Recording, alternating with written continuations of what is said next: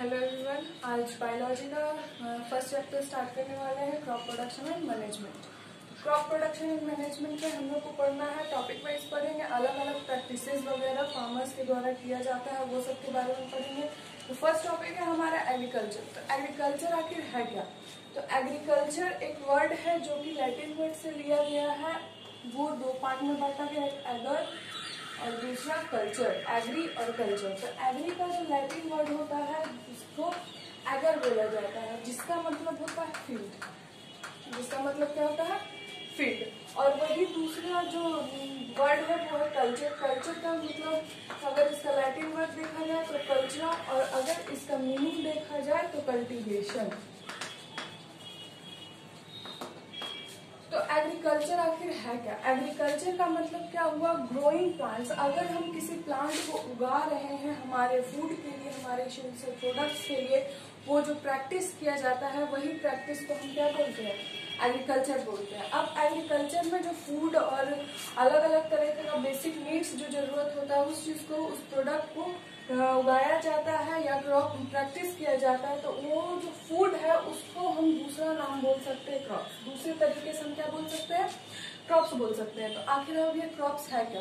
Crops एक तरीके का प्लांट होता है जो कि उसे लार्ज अमाउंट में उगाया जाता है लार्ज एरिया में ग्रोन किया जाता है, और ये एक तरीके, एक सेम काइंड का हो सकता है. मतलब एक जैसा हो सकता है वो भी एक तरीके का प्रोडक्ट एक लार्ज एरिया में उगाया जाता है। उसी को क्या बोला जाता है? क्रॉप्स बोला जाता है। तो क्रॉप्स में जैसे आ जाते हैं फ्रूट्स वेजिटेबल्स सीरियल्स ये सब जो एग्जाम्पल्स है, वो सब क्रॉप्स के एग्जाम्पल्स है। अब क्रॉप्स को भी इंपॉर्टेंट टाइप्स में बांटा गया है। क्रॉप्स का जो इम्पोर्टेंट टाइप्स है मेनली चार टाइप्स इंपॉर्टेंट टाइप्स तो टाइप्स क्या क्या है? फ़ूड ग्रेन्स है। तो फ़ूड ग्रेन्स जो क्रॉप्स का क्वालिटी है फ़ूड ग्रेन्स में वैसे फ़ूड आते हैं जो हमारे कंजप्शन के लिए, हमारे नीड्स के लिए जो यूज़ किए जाते हैं, वो जितने भी क्रॉप्स है, वो किसमें आते हैं? फ़ूड ग्रेन्स में।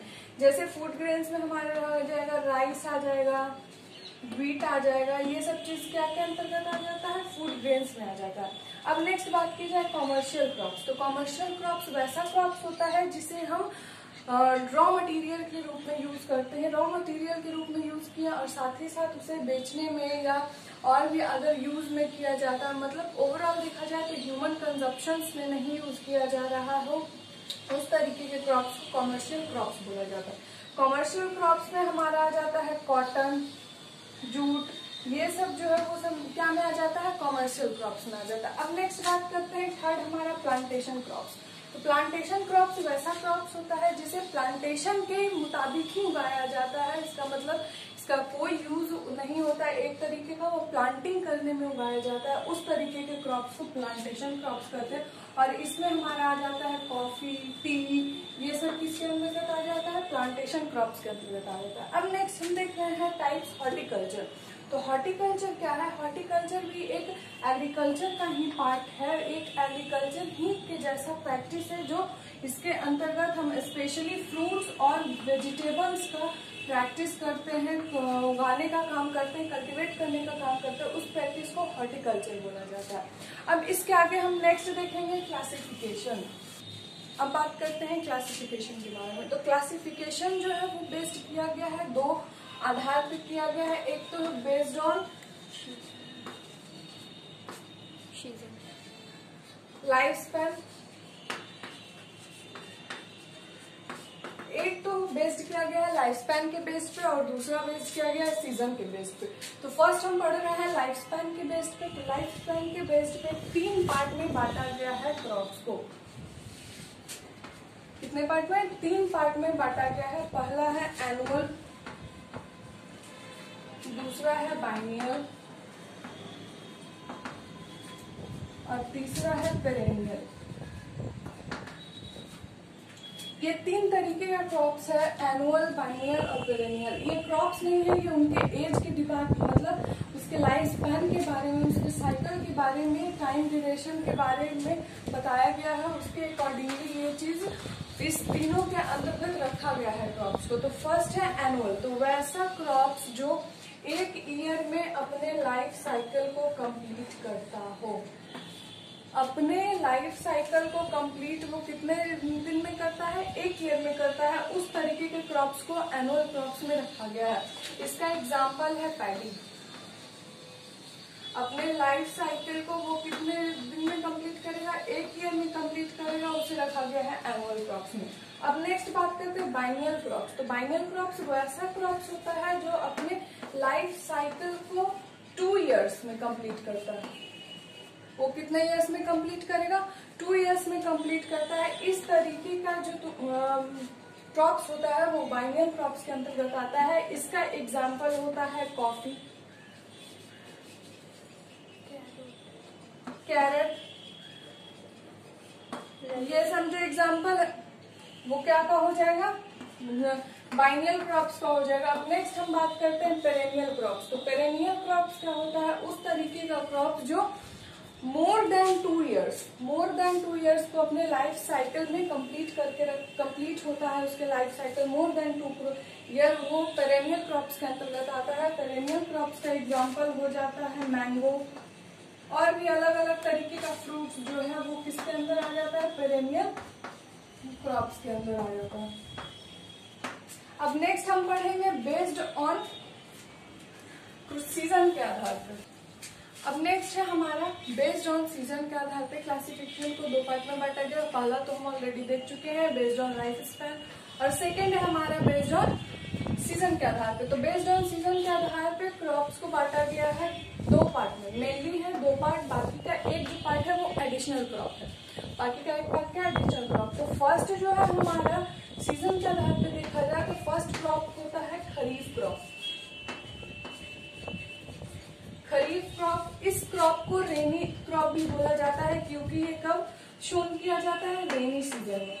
इसका शोन करने का जो टाइमिंग होता है, ये जून, जुलाई के टाइम में किया जाता है।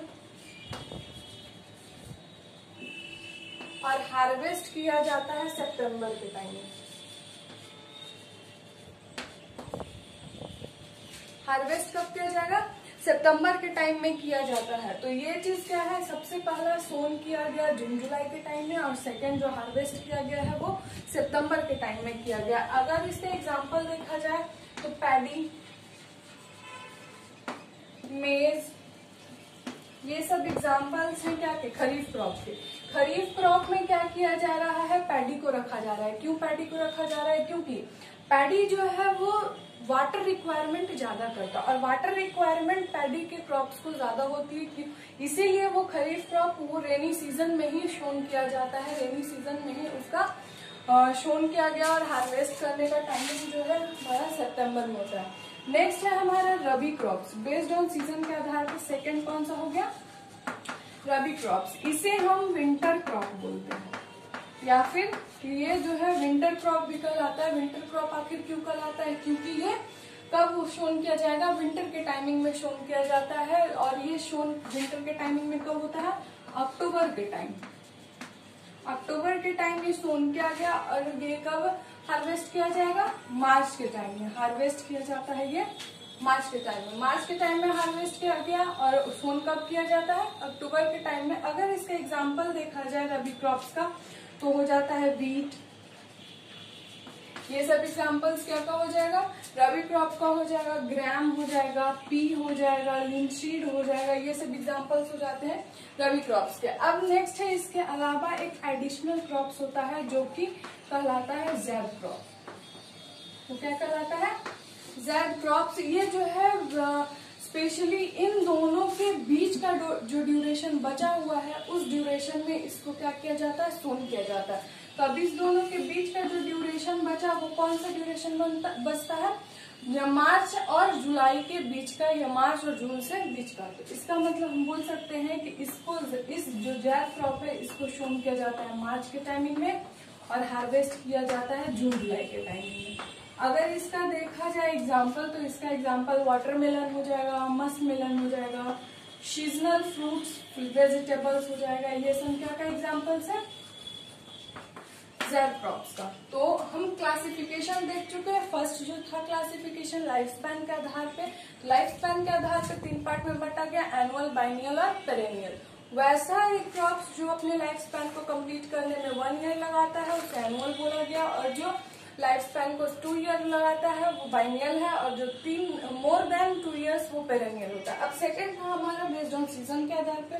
तो सीज़न के आधार पे हम दो पार्ट में मेनली जो है क्रॉप दो तरीके का होता है। पहला खरीफ क्रॉप और दूसरा रबी क्रॉप तो खरीफ क्रॉप जो है वो रेनी सीज़न में होता है, इसलिए रेनी क्रॉप से बोला जाता है। रेनी सीज़न में हुआ तो वो शोन किया गया जून, जुलाई में और हार्वेस्ट किया गया सितंबर में। और इसका एग्ज़ाम्पल है पैडी और पैडी जो है, हमारा इससे रिक्वायरमेंट वाटर की ज़्यादा होती है, इसीलिए ये रेनी सीज़न में ही उगाया जाता है, इसलिए इसको खरीफ क्रॉप के अंतर्गत रखा जाता है। नेक्स्ट है हमारा रबी क्रॉप तो रबी क्रॉप जो था, वो क्या था? वो विंटर क्रॉप था, वो अक्टूबर के टाइम में शून किया जाता है मार्च के टाइम में हार्वेस्ट किया जाता है। तो ये चीज़ जो है, हमारा विंटर सीज़न में आता है तो विंटर क्रॉप्स ये कहलाता है। और इसका एग्ज़ाम्पल देखा जाए तो वीट ग्रैम ये सब किसका एग्ज़ाम्पल हो जाता है? रबी क्रॉप्स का। तो इसके अलावा एक एडिशनल क्रॉप्स होता है जिसको जैद क्रॉप बोला जाता है। जैद क्रॉप जो है सून किया जाता है, मार्च के टाइमिंग में, और हार्वेस्ट किया जाता है जून के टाइमिंग में। अगर इसका एग्ज़ाम्पल देखा जाए तो seasonal fruits vegetables watermelon et cetera et cetera और भी जो सीजनल फ्रूट्स है मेनली वो किसके अंतर्गत आ जाए? जैद क्रॉप्स के अंतर्गत आता है। अब नेक्स्ट हम पढ़ेंगे एग्रीकल्चर प्रैक्टिसेस बेसिक प्रैक्टिस के बारे में। तो नेक्स्ट टॉपिक है एग्रीकल्चर प्रैक्टिस अब हमारा नेक्स्ट टॉपिक है बेसिक एग्रीकल्चर प्रैक्टिस तो बेसिक एग्रीकल्चर प्रैक्टिस आखिर ये ज़रूरी क्यों है? तो जो जो एग्रीकल्चर प्रैक्टिस किया जा रहा है, वो बेसिक चीज़ जो है, वो जानना हर एक इंसान को ज़रूरी है, क्योंकि हमारा जो प्राइमरी सेक्टर है, वो फ़ार्मिंग है। और फ़ार्मिंग में ये चीज़ इंपॉर्टेंट होता है कि बेसिक कैरेक्टरिस्टिक्स या फिर बेसिक एग्रीकल्चर का जो प्रैक्टिस है, उसे जानना चाहिए। तो फ़र्स्ट है हमारा, ये मोस्टली डिवाइडेड है सेवन पार्ट्स में। वो स्टेप बाय स्टेप ये क्या किया जाता है? पूरी तरीके से किया जाता है। तो फ़र्स्ट हमारा प्रिपरेशन ऑफ़ सॉइल तो प्रिपरेशन ऑफ़ सॉइल जो है वो क्या है? सबसे पहला पार्ट होता है, सबसे पहला स्टेप होता है प्रिपरेशन ऑफ़ सॉइल ये जो है, इसमें क्या किया जाता है? सॉइल का प्रिपरेशन किया जाता है ताकि नेक्स्ट लेवल में हम जाके सीड को शोन कर सके शोइंग कर सके। फिर नेक्स्ट पार्ट होता है हमारा शोइंग शोइंग मतलब होता है किसी भी चीज़ को बोना मतलब स्पेशली बात किया जाए तो शीट के बारे में। फिर नेक्स्ट है हमारा एडिंग मैन्योर्स एंड फर्टिलाइज़र तो फर्टिलाइजर्स और मैन्योर को एडिंग करना उसमें नेक्स्ट स्टेप हमारा होता है। फिर फोर्थ स्टेप क्या है? इरिगेशन उसके बाद सिंचाई करना। फिर नेक्स्ट है हमारा प्रोटेक्शन फ्रॉम वीड्स फिर नेक्स्ट है हमारा हार्वेस्टिंग एंड सेवेंथ लास्ट है हमारा स्टोरेज तो फ़र्स्ट हम जानेंगे प्रिपरेशन के बारे में। तो प्रिपरेशन ऑफ़ सॉइल के बारे में फ़र्स्ट वन बाय वन हम इसे जानेंगे। तो फ़र्स्ट हमारा क्या है? प्रिपरेशन ऑफ़ सॉइल तो हम लोग जानेंगे फ़र्स्ट स्टेप हमारा है प्रिपरेशन ऑफ़ सॉइल तो प्रिपरेशन ऑफ़ सॉइल को मेनली तीन तरीके में प्रिपेयर किया जा सकता है। तीन प्रोसेस की वजह से किया जा सकता है। तो फ़र्स्ट प्रोसेस है हमारा प्लॉइंग प्रोसेस तो प्लॉइंग प्रोसेस प्लॉइंग प्रोसेस आखिर होता क्या? है हम अगर सॉइल को लूज कर रहे हैं टर्न कर रहे हैं तो उस तरीके का जो प्रोसेस होता है, वो प्लॉइंग प्रोसेस होता है. प्लॉइंग प्रोसेस का मतलब ये होता है loosening and turning of a soil is called ploughing process और ये प्लॉइंग प्रोसेस जो है, वो किसके द्वारा? एक इंस्ट्रूमेंट है, ये या फिर उसे बोल सकते हैं हम इम्प्लीमेंट है, वो है प्लो प्लो के द्वारा किया जाता है और ये वुड का भी बना हो सकता है और आयरन का भी बना हो सकता है। ये किसी चीज़ का भी बना हो सकता है वुड का भी रहता है और कहीं कहीं आयरन का भी पाया जाता है। तो मेनली फ़र्स्ट जो है हमारा काम रहता है सॉइल का प्रिपेयर करने का, वो फ्लोइंग प्रोसेस रहता है।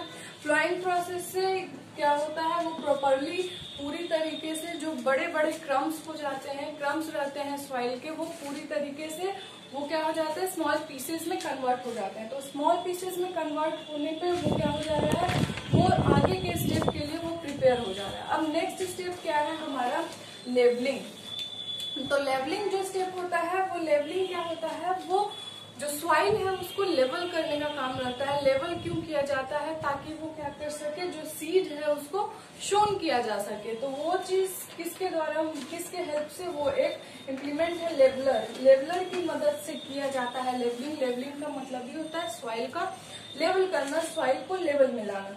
और फिर नेक्स्ट है हमारा एग्रीकल्चर इम्प्लीमेंट तो एग्रीकल्चर इम्प्लीमेंट है कुछ नहीं, वो एक तरीके का टूल्स होता है। जो वैसा टूल्स जो पूरे एग्रीकल्चर में हेल्प करे, उस तरीके के टूल्स को हम एग्रीकल्चरल इम्प्लीमेंट करते हैं। तो एग्रीकल्चरल इम्प्लीमेंट जो है, बहुत तरीके का हो सकता है। जैसे है हमारा खुरपा, सिक्कल, ये हम लेवलर भी बोल सकते हैं फ्लो भी बोल सकते हैं, उसके बाद सीड हो जाता है हैरो हो जाता है। ये सब हमारा किसके अंतर्गत आ जाता है? एग्रीकल्चर इम्प्लीमेंट के अंतर्गत आ जाता है। अब हम नेक्स्ट पढ़ेंगे सोइंग ऑफ़ सीड्स तो सोइंग हमारा नेक्स्ट टॉपिक है। तो नेक्स्ट टॉपिक है हमारा सोइंग तो सोइंग का जो नेक्स्ट टॉपिक है, वो भी तीन पार्ट में बांट दिया गया है। मतलब तीन तरीके से हम सोइंग प्रोसेस कर सकते हैं। फ़र्स्ट जो प्रोसेस है हमारा selection of seeds selection of seeds क्या है? सिलेक्शन ऑफ़ सीड का मतलब हुआ कि हम सीड को किस तरीके से सेलेक्ट कर रहे हैं? तो सीड को हम उसकी क्वालिटी के हिसाब से सेलेक्ट करेंगे और सिलेक्ट करने का प्रोसेस क्या है? अगर हम सीड को लिए हैं और सीड को अगर हम पानी में डालते हैं तो उसके अकॉर्डिंगली क्या होता है? वो क्वालिटी अपना बताएगा। अगर गुड क्वालिटी का सीड होगा तो वो वो क्या होगा? वो पानी में सिंक कर जाएगा। सिंक कर जाएगा, इसका मतलब क्या हम बोल सकते हैं? जो गुड क्वालिटी का सीड होता है, वो क्या होता है? हैवियर होता है than bad quality of seed तो वो किसके अकॉर्डिंगली हम देख रहे हैं? वो क्वालिटी के अनुसार देख रहे हैं। गुड क्वालिटी का जो सीड होता है, वो हमारे क्रॉप्स के लिए गुड क्रॉप्स को भी गुड क्वालिटी का क्रॉप्स प्रोड्यूस करेगा। नेक्स्ट क्या होता है? जो गुड क्वालिटी का सीड होता है, वो हैवियर होता है फॉलो नहीं होता है वो। और जो बैड क्वालिटी का होगा, वो कैसा होता है? फॉलो होता है। अब तो सिलेक्शन ऑफ़ सीट्स हो गया। अब सिलेक्शन ऑफ़ सीट के बाद क्या बारी आता है? शोइंग ऑफ़ सीट्स का मतलब हम शो किस तरीके से हम कर सकते हैं। तो शोइंग ऑफ़ सीट्स जो है, हम दो तरीके से करते हैं। पहला ब्रॉडकास्टर और दूसरा है सीड ड्रिल पहला क्या है? ब्रॉडकास्टर और दूसरा है सिट्यूल तो ब्रॉडकास्टर क्या होता है? ब्रॉडकास्ट एक तरीके का ब्रॉडकास्टर को हम बोल सकते हैं वो मैनुअली करना। मैनुअली शीट का जो छिड़काव किया जाता है, वो क्या होता है? वो ब्रॉडकास्टर कहलाता है, वो प्रोसेस वो ब्रॉडकास्ट करना हुआ। उसमें क्या होता है? वो रैंडम कहीं भी छिड़काव हो सकता है शोन हो सकता है, उससे हमें प्रॉपर वे में क्रॉप का प्रोडक्शन नहीं पता चल पाएगा। अब रही बात सेकेंड सीड्रिल ये एक तरीके का एग्रीकल्चर इम्प्लीमेंट हुआ। ये क्या करता है? प्रॉपर वे में यूनिफॉर्म जो उसका डेप्थ होगा हाइट होगा, उस हिसाब से ये क्या करेगा? शीट को शोन करने का काम करता है। प्रॉपर स्पेसिंग पे ये सब पे वो कौन हेल्प करता है? सीड्रिल जो कि इम्प्लीमेंट है, वो क्या क्या इम्प्लीमेंट है? शोइंग ऑफ़ शीट के टाइमिंग पे। नेक्स्ट है हमारा ट्रांसप्लांटेशन तो ट्रांसप्लांटेशन आखिर है क्या? ट्रांसप्लांटेशन एक वैसा प्रोसेस है जिसमें शीट जो क्या हो जा रहा है अगर सोन किया गया है और वो जर्मिनेट हो चुका है जर्मिनेट हो गया जर्मिनेट होने के बाद वो क्या हो जाता है? एक छोटा सा प्लांट बन जाता है तो उस प्लांट को उस नर्सरी से ट्रांसफ़र करना कहा? मेन फ़ील्ड में, वही प्रोसेस क्या कहलाता है? ट्रांसप्लांटेशन कहलाता है। ट्रांसप्लांटेशन का मतलब क्या हुआ कि एक जगह से दूसरी जगह पे ट्रांसफ़र करना वही प्रोसेस ट्रांसप्लांटेशन कहला रहा है। वो भी कहा से? नर्सरी से, उसके मेन फ़ील्ड में ट्रांसफ़र करना या सीडलिंग से, उसके मेन फ़ील्ड में ट्रांसफ़र करना अब नेक्स्ट है हमारा शोइंग में हमें क्या क्या प्रिकॉशंस रखना चाहिए। तो सबसे पहला जो है प्रॉपर स्पेस सबसे पहला बात आता है प्रॉपर स्पेस का। तो हमें प्रॉपर स्पेस में ही शोन करना चाहिए किसी भी शीट्स को। फिर सेकंड आता है जब शीट को हम शोन कर रहे हैं तो उसमें फंगी ना लगे, उसके लिए उसे सबसे पहले फंगी साइड से धो लेना चाहिए या फिर फंगी साइड्स का उस पर छिड़काव कर देना चाहिए। फिर नेक्स्ट है हमारा थर्ड सही डेप्थ पे। सही डेप्थ पे उसे क्या करना है? प्रिपेयर करना है, डालना है, वो किसकी मदद से हम कर सकते हैं? सीड ड्रिल की मदद से कर सकते हैं। तो सीड ड्रिल हमारे लिए बहुत इंपॉर्टेंट होता है शोन करने के टाइम पे। वो चीज़, ये जो है पूरा किसके अंतर्गत आ गया? शोइंग ऑफ़ सीड के अंतर्गत आ गया। तो सेकंड स्टेप तक हो गया है। अब हमारा थर्ड स्टेप है एडिंग मैन्योर्स एंड फर्टिलाइजर्स तो उसे हम देखेंगे नेक्स्ट टॉपिक में। सो नेक्स्ट है हमारा एडिंग मैन्योर्स एंड फर्टिलाइजर्स तो आखिर हम जानेंगे मैन्योर्स क्या है फर्टिलाइजर्स क्या है, उसके एडवांटेजेस क्या है डिसएडवांटेजेस क्या है? तो फ़र्स्ट हम जानते हैं मैन्योर मैन्योर हमारा क्या होता है ये एक तरीके का समझो ऑर्गेनिक वेस्ट होता है। ये क्या होता है? ऑर्गेनिक सब्सटेंस से बनाया हुआ एक खाद तैयार किया जाता है, वो मैन्योर कहलाता है। मतलब इसमें हम केमिकल्स का यूज़ नहीं करते हैं। ये जो है नॉर्मली हमारा जो गार्बेजेस है, उससे डिकम्पोज उसको डिकम्पोज करके ये तैयार किया जाता है। जैसे हम देख सकते हैं सिटी गार्बेज हो गया, फिर किचन गार्बेज किचन वेस्ट हो गया, ये सबको डिकम्पोज करके जो मैन्योर तैयार किया मैन्योर तैयार किया जाता है, ये वेरियस कंपोनेंट होता है जिसमें ऑर्गेनिक तरीके का सब्सटेंस मौजूद होता है ऑर्गेनिक सब्सटेंस होता है, वो भी कहाँ से हमें मिलता है, किसकी डिकम्पोजिशन से सिटी गार्बेज की डिकम्पोजिशन हो जाएगा या फिर किचन वेस्ट हो जाएगा मतलब बायोडिग्रेडेबल सब्सटेंसेज को हम डिकम्पोज करते हैं तो उससे क्या तैयार किया जाता है? मैन्यूस तैयार किया जाता है। मैन्यूस का एडवांटेजेस क्या होता है? मैन्यूस का यही एडवांटेजेस होता है कि फर्टिलाइज़र से बेटर होता है। पहला तो है कि फर्टिलाइज़र से बेटर है। फर्टिलाइज़र से बेटर है, उसके साथ साथ ही इसका कॉस्ट जो होता है लेस होता है। सेकंड क्या हो जाएगा ये? लेस कॉस्ट का होता है। फिर ये ऑर्गेनिक मैटर के कारण ही ये क्या करता है? फर्टिलिटी को बढ़ाने का काम करता है। नेक्स्ट क्या हो जाएगा? फर्टिलिटी को इंक्रीज करता है, लेकिन लेकिन क्या होता है? ये ये टाइम टेकिंग होता है। फर्टिलाइज़र यही बताएँगे हम आगे। फर्टिलाइजर्स और मैन्यूर में थोड़ा डिफरेंस होता है क्योंकि ये जो है टाइम टेकिंग होता है, वो टाइमिंग जो है कुछ ज़्यादा लेता है। ड्यूरेशन जो है इसका ज़्यादा होता है न्यूट्रिएंट्स को प्रोवाइड कराने का सॉइल में। उसके बाद ये जो है सॉइल इरोजन से बचाता है। सॉइल इरोजन को रिड्यूस करने का काम करता है, किसके द्वारा? मैन्यूर्स के द्वारा ही। उसके बाद ये सॉइल के टेक्सचर को इम्प्रूव करता है।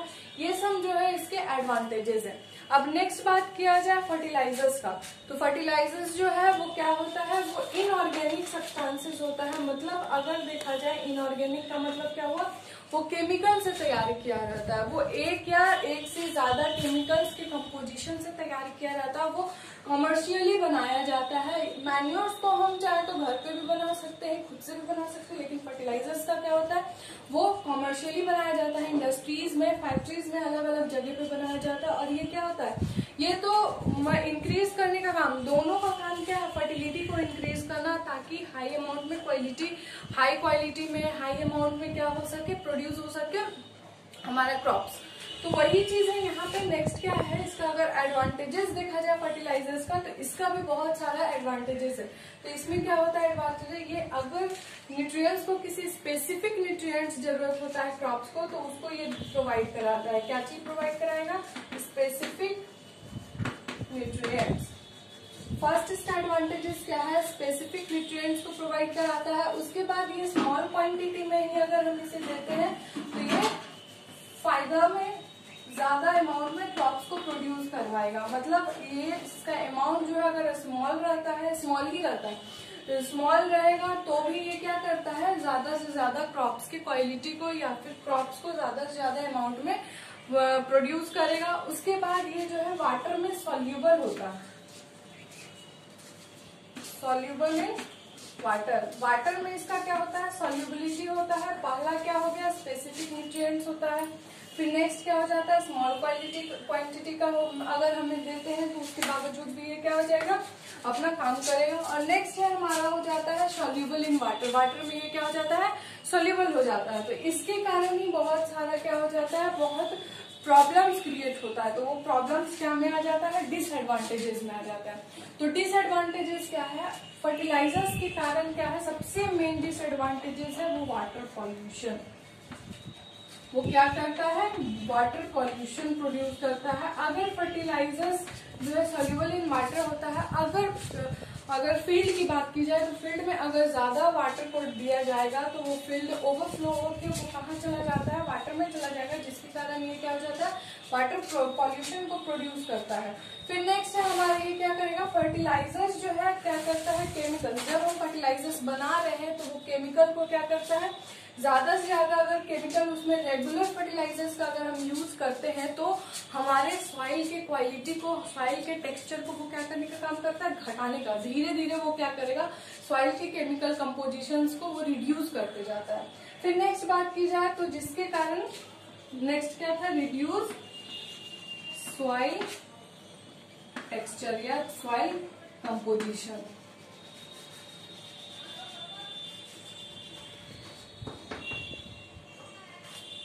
फिर नेक्स्ट क्या है हमारा? ये काउज करता है यूट्रोफिकेशन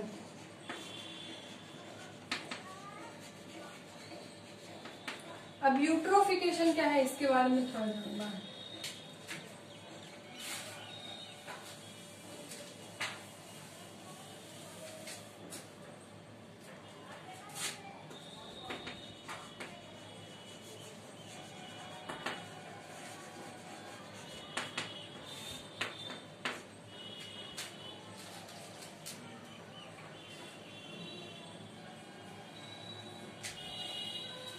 यूट्रोफिकेशन क्या है? इसके बारे में हमें जानना है, यूट्रोफिकेशन क्या होता है? ये एक तरीके का एल्गल ब्लूम तैयार करता है। मतलब अगर यहाँ पे वाटर है, ये स्पेशली लेक या पॉन्ड में होगा। अगर ये वाटर है और वाटर में पॉल्यूशन होगा, वो भी किसके कारण हो रहा है? फर्टिलाइजर्स के कारण हो रहा है। तो वो क्या करता है? एक लेयर ऊपर में वाटर के जस्ट ऊपर एक लेयर बैठा लेता है। और वो लेयर जो होता है, वो क्या का होता है? एलगी का होता है। ये क्या कर लेयर हो जाएगा? एलगी का लेयर होता है तो यही जो लेयर होता है, इसे हम एल्गल ब्लूम करते हैं। ये वाटर है वाटर के ऊपर ये एक लेयर बैठा लेता है एल्गल ब्लूम तो वही एल्गल ब्लूम कहलाता है और यही यूट्रोफिकेशन मेनली क्या हो जाता है? वो काउस क्या करेगा? जब जब ये लेयर ऊपर में आ जाता है क्या? वाटर के। तो इसका कांटेक्ट जो है क्या से? ऑक्सीजन से। कम जाता है। तो वही चीज़ क्या हुआ? वाटर में ऑक्सीजन का कमी हो जाना सफिशियंट अमाउंट में वाटर में ऑक्सीजन नहीं जा पा रहा है, जिसके कारण क्या हो जा रहा है? एक्वेटिक लाइफ में प्रॉब्लम्स आ रहे हैं। तो वही जो प्रोसेस होता है, वही जो केमिकल इफ़ेक्ट है, वो क्या कहलाता है? केमिकल इफ़ेक्ट किया जाता है, हो जाता है या फिर तो वो प्रोसेस यूट्रोफिकेशन हो जाता है। तो यूट्रोफिकेशन क्या है? जो इनसफिशियंट अमाउंट में वाटर नहीं जा पा रहा है सफिशियंट अमाउंट में, और उसका ऑक्सीजन से कांटेक्ट हटा हुआ है तो ये प्रोसेस ही यूट्रोफिकेशन कहलाता है। ये चीज़ को पूरे को यूट्रोफिकेशन करते हैं। जैसे बहुत बार, बहुत जगह ऐसा होता है कि पॉन्ड है। पॉन्ड के ऊपर एक हरा हरा परत जम जाता है। वही चीज़ क्या हो जाता है? एल्गल ब्लूम कहलाता है। और उसमें जो प्रोसेस हो रहा है मतलब जो ऑक्सीजन से वाटर का सफिशियंट अमाउंट में कनेक्शन जो है कनेक्टिविटी है, वो घट चुका है तो वो चीज़ क्या कहला जाता है? यूट्रोफिकेशन कहला जाता है। अब नेक्स्ट है हमारा इरिगेशन तो नेक्स्ट है हमारा इरिगेशन तो फोर्थ स्टेप जो हमारा क्या होता है? क्रॉप प्रोडक्शन में देखा जाए तो फोर्थ है फोर है हमारा इरिगेशन तो इरिगेशन क्या है? इरिगेशन एक वैसा प्रोसेस है जिसमें हम वाटर को सप्लाई करते हैं क्या में? फ़ील्ड में। फ़ील्ड में आखिर हम वाटर क्यों सप्लाई कर हैं? ताकि वो क्रॉप जो है, वो क्रॉप जिसको, जो शोन ऑलरेडी है, वो क्या कर सके और ग्रो कर सके, सही से बढ़ सके, उसको रिक्वायरमेंट मिल सके तो हम कहाँ कहाँ से वाटर मूव को प्रोवाइड करा सकते हैं कैनल से रिजर्वायर से वेल से, जो हमारे पास वाटर का सोर्सेज है, वहाँ से हम क्या कर सकते हैं वाटर को प्रोवाइड करा सकते हैं फ़ील्ड में तो वो प्रोसेस क्या कहलाता है? इरिगेशन कहलाता है। तो इरिगेशन जो है मेनली क्या होता है? अगर पर्पस देखा जाए इरिगेशन का तो इरिगेशन का पर्पस ये होता है कि जो मैक्रो न्यूट्रिएंट्स है, वो क्या हो सके, पूरी तरीके से क्या में सॉइल्स में घुल मिल सके। मतलब क्रॉप्स में जो बचा, जो माइक्रो न्यूट्रिएंट्स हमें सॉइल से चाहिए, जैसे हाइड्रोजन ऑक्सीजन ये सब चीज़ जो है, वो सॉइल में पूरी तरीके पूरी तरीके से जो है, वो किसमें ट्रांसफ़र हो जाए? क्रॉप्स में ट्रांसफ़र हो जाए, ताकि प्रॉपर वे में उसको क्रॉप्स को अच्छे क्वालिटीज में या फिर अच्छे अमाउंट में न्यूट्रिएंट्स वगैरह मिले। अगर हम देखें यहाँ पे तो इरिगेशन का फैक्टर्स जो है डिपेंड रहता है वाटर के तौर पे या फिर वाटर रिक्वायरमेंट या फिर इरिगेशन बेस्ड पे क्रॉप्स को दो पार्ट में इरिगेशन को दो फैक्टर्स के रूप में देखा गया है। पहला जो है हमारा क्रॉप के बेस्ड पे इरिगेशन हो रहा है और दूसरा सॉइल के बेस्ड पे इरिगेशन तो क्रॉप के बेस्ड पे इरिगेशन हम कैसे कर सकते हैं? तो क्रॉप के क्रॉप के बेस्ड पे इरिगेशन वो होता है जो कि वैसा इरिगेशन जिसमें वाटर कितना अमाउंट में चाहिए क्रॉप्स को। ये क्या है? वाटर के अमाउंट पे है वाटर के रिक्वायरमेंट पे है तो पहला जो है क्रॉप बेस्ड है। तो क्रॉप बेस्ड का मतलब क्या हुआ? कि क्रॉप्स को, कितने अमाउंट में वाटर को वाटर की रिक्वायरमेंट्स है, उस आधार पे इरिगेशन किया जा रहा है। जैसे अगर हम देखें पैडी का एग्ज़ाम्पल ये क्या है? वो क्रॉप बेस्ड पे ही इरिगेशन किस क्रॉप्स में किया जाता है? पैडी में किया जाता है। पैडी में हाई अमाउंट में चाहिए क्या? वाटर चाहिए वाटर हाई अमाउंट में चाहिए, वो क्यों चाहिए एक्सेस अमाउंट में? क्योंकि वो क्रॉप्स ऐसा क्रॉप्स है जिसको हाई अमाउंट में वाटर की ज़रूरत होती है रिक्वायरमेंट होती है, इसीलिए इसका इरिगेशन क्रॉप क्रॉप के बेस्ड पे किया जाता है। नेक्स्ट है हमारा सॉइल के बेस पे। तो ये जो है सॉइल की नेचर के बेस पे किया जा रहा है इसमें जो क्रॉप्स डाला गया है या फिर जो क्रॉप सोन किया गया किसी भी सॉइल में तो वो सॉइल के बेसिस नेचर के आधार पे यहाँ पे वाटर रिक्वायरमेंट की ज़रूरत होती है। अब नेक्स्ट है हमारा इरिगेशन सिस्टम तो नेक्स्ट बात हम कर रहे हैं क्या के बारे में? बेसिक बेसिक एग्रीकल्चर प्रैक्टिस में नेक्स्ट है हमारा इरिगेशन था। तो इरिगेशन में ही हमारा क्या है इरिगेशन सिस्टम्स के बारे में बात कर रहे हैं। तो इरिगेशन सिस्टम जो है हमारा, हमारे इंडिया में पहले का अगर देखा जाए तो वो दो पार्ट में बांट दिया गया। एक ट्रेडिशनल मेथड है और दूसरा मॉडर्न मेथड मॉडर्न मेथड है। ट्रेडिशनल मेथड्स में अलग अलग तरीके के आ जाएँगे, जैसे वेल्स की मदद से रिवर्स की मदद से कैनाल की मदद से। ये सब जो है फ़ील्ड में क्या कर रहे हैं? ट्रेडिशनल मेथड्स के अंदर आते हैं फ़ील्ड को प्रोवाइड कर रहे हैं वाटर वाटर प्रोवाइड किया जा रहा है तो अलग अलग रिजर्वायर्स के थ्रू अलग अलग सोर्सेज के थ्रू किया जा रहा है। वो चाहे हमारा मॉडर्न मेथड हो या फिर ट्रेडिशनल मेथड हो, दोनों मेथड में वाटर को वाटर रिक्वायरमेंट होता है क्या में फ़ील्ड में तो फ़ील्ड में ज़रूरत है तो ट्रेडिशनल मेथड में क्या होता है? अलग अलग तरीके से मतलब किसी भी तरह का इंस्ट्रूमेंट हम यूज़ ना करके हमारे मैनुअली करते हैं, या फिर एनिमल्स के थ्रू करते हैं, वो सब हमारा क्या के अंतर्गत आ जाता है? ट्रेडिशनल मेथड्स में आ जाता है। ट्रेडिशनल मेथड में बहुत सारे मेथड्स थे, जैसे रैहट हो गया बुलॉक्स की मदद से होता है कैटल्स की मदद से होता है, बहुत सारा ऐसा होता है कि ह्यूमन लेबर खुद करते हैं और क्या कोई इरिगेशन सिंचाई करने के लिए? तो ट्रेडिशनल मेथड में बहुत सारा रेहट हो जाता है डेकली हो गया। ये सब मेथड्स क्या में आ जाता है? ट्रेडिशनल मेथड्स में आ जाता है। ट्रेडिशनल मेथड में और भी बहुत सारा चैन पुलिंग चैन चैन पंप ये सब जो है हमारा क्या में आ जाता है? ट्रेडिशनल मेथड्स में। अब नेक्स्ट बात कर रहे हैं मॉडर्न मेथड की। तो मॉडर्न मेथड में मेनली ये तीन जो मेथड्स होते हैं, वो क्या है? ज़्यादा प्रिफर किया जाता है किसी भी फार्मर्स के द्वारा या फिर इरिगेशन को अगर बताया जाए तो मेनली ये तीन इरिगेशन इन तीनों की वजह से होता है। फ़र्स्ट जो है हमारा ड्रिप इरिगेशन मोस्टली जो है ड्रिप इरिगेशन किया जाता है तो ड्रिप इरिगेशन है क्या?